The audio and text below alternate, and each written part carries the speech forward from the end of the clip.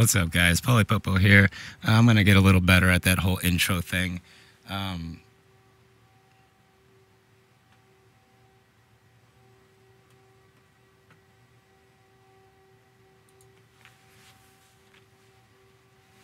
What's up, guys? Polipopo here. I'm going to get a little better at that intro thing and, uh, yeah, little by little, day by day, right?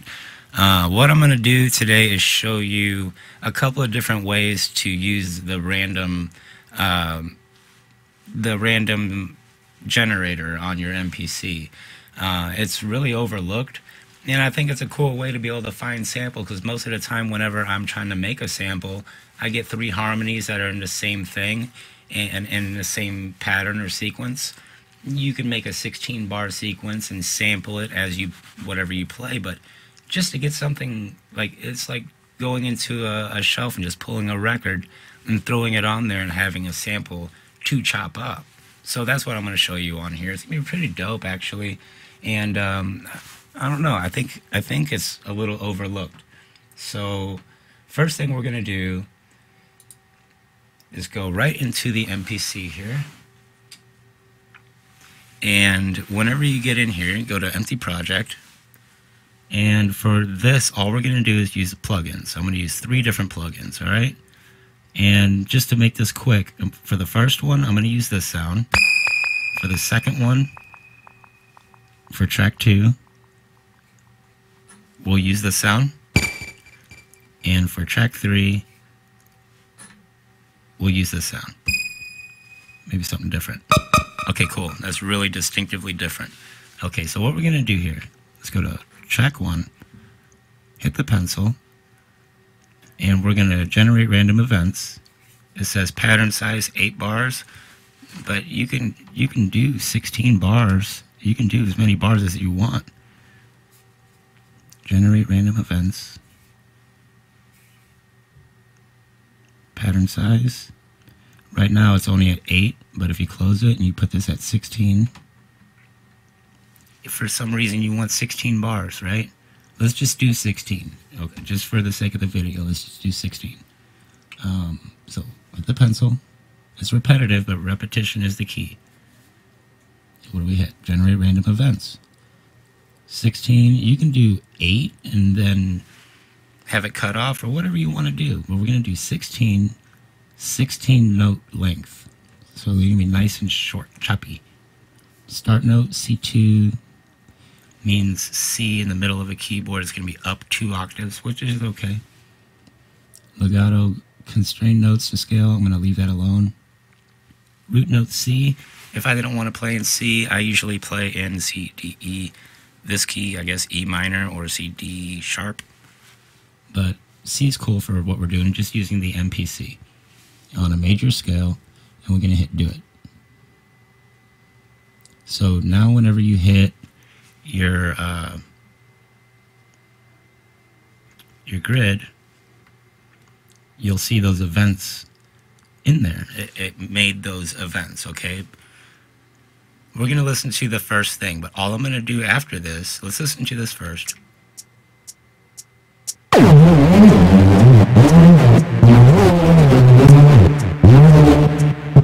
Sounds crazy, right? We're probably going to change that sound. Let's change this to that. Do that.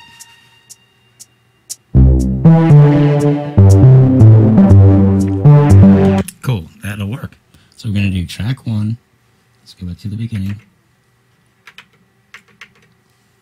Hit the pencil.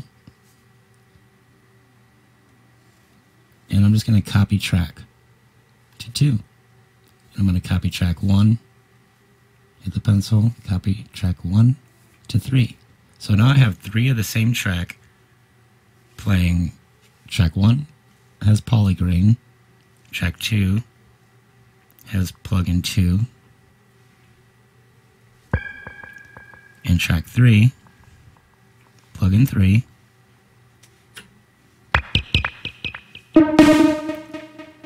So now when we plug play all three of them, we're going to have three layers of the random. Let's slow this tempo down just a little bit to 100.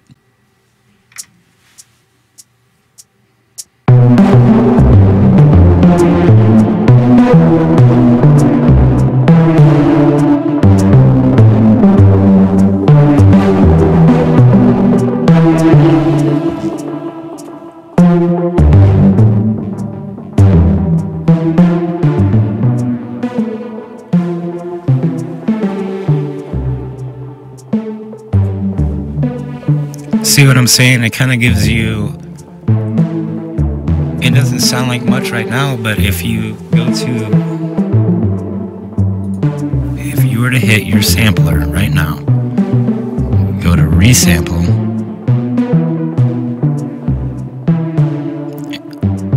Two minutes, 30 seconds, and you hit arm. I'm gonna chop it.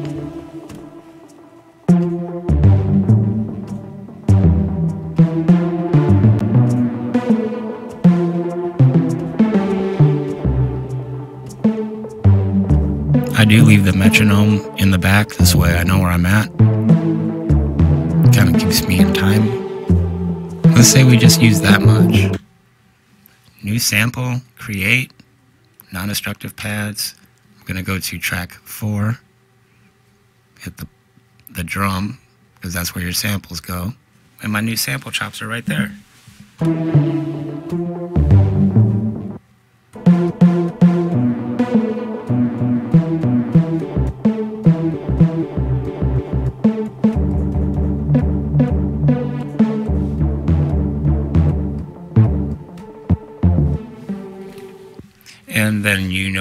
From there, guys. You just make some sample chops out of it.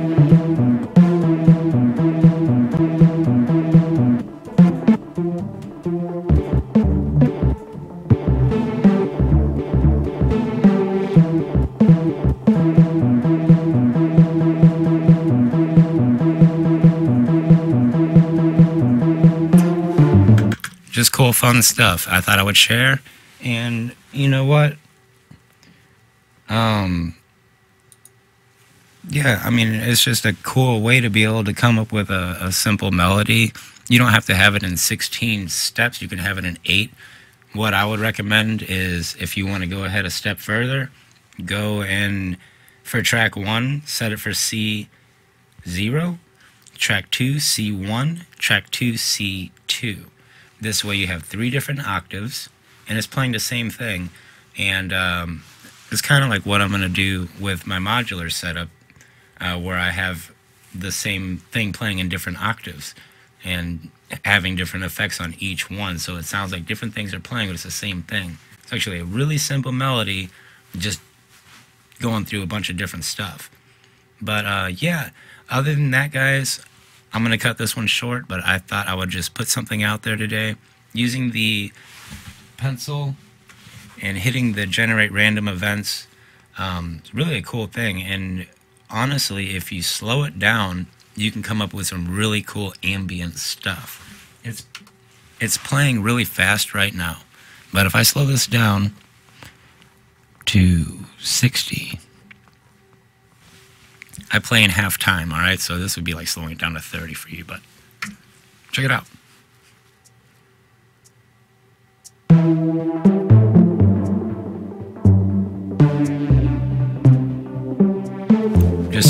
nice, easy listening, kind of cool stuff.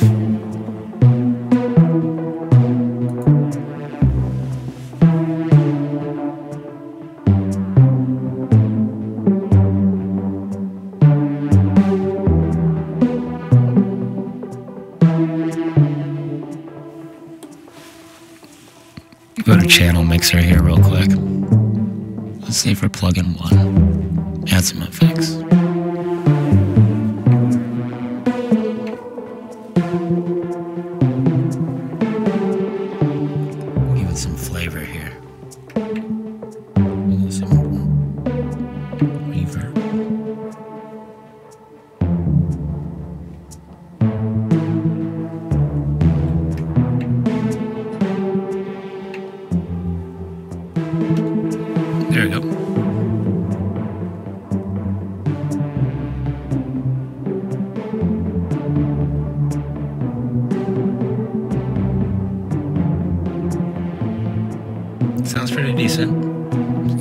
Better.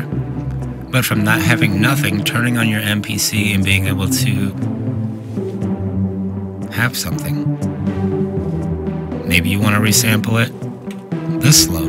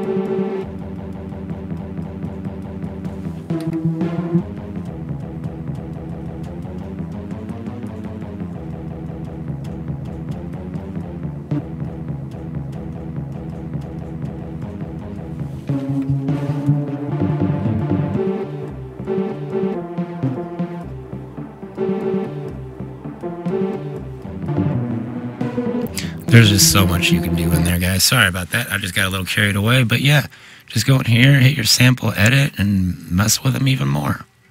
Zoom in here and start chopping up your stuff. You can really get into the, the real nitty gritty here. You can find kick drums and all kinds of cool stuff. I'll show you one kick drum and I'm out of here.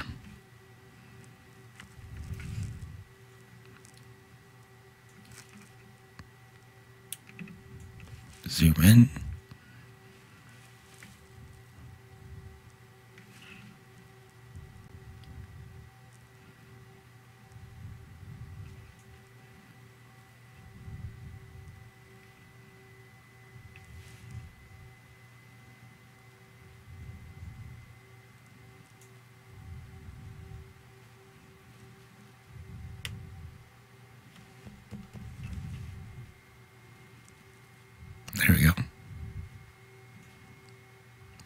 Guy.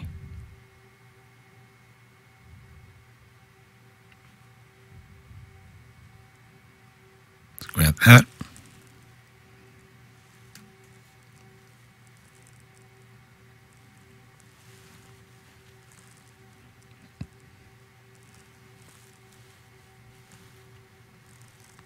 Nothing, right? I'm gonna go in here.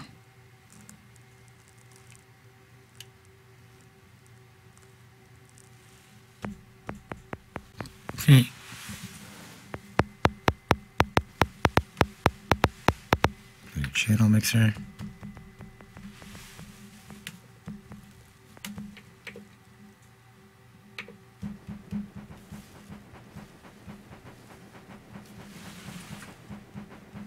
Got a little bitty something.